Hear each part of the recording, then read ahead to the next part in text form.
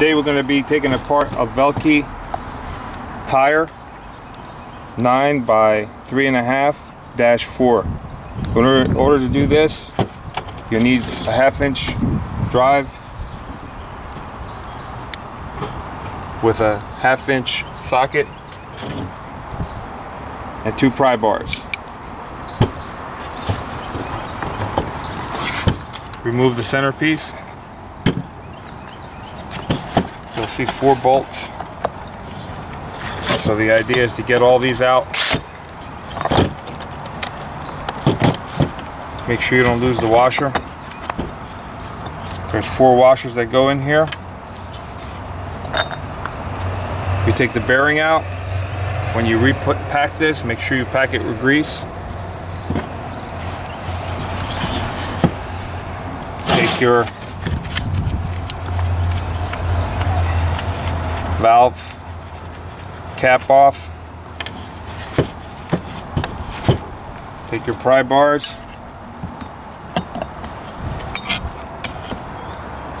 Go down deep. It's going to take you a while. You're going to work it all the way around. All the way around until the top comes off. Then you're going to take an angle grinder and you're going to make all this smooth. I'll show you that tool. Same way on the other side.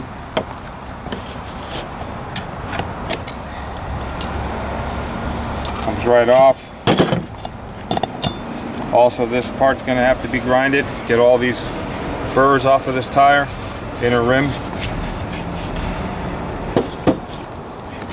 Then you pull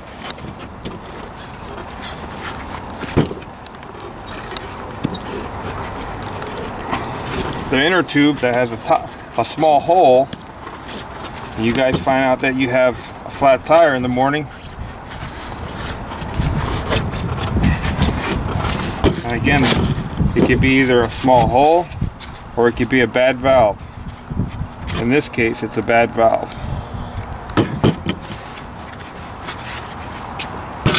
Now installation is the reverse of what we just did. Make sure you tuck this in here when you put this back on here and align this directly with this.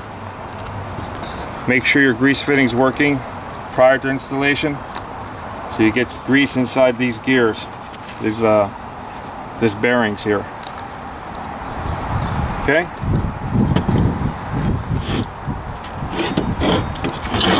And that will do it for this. Thanks.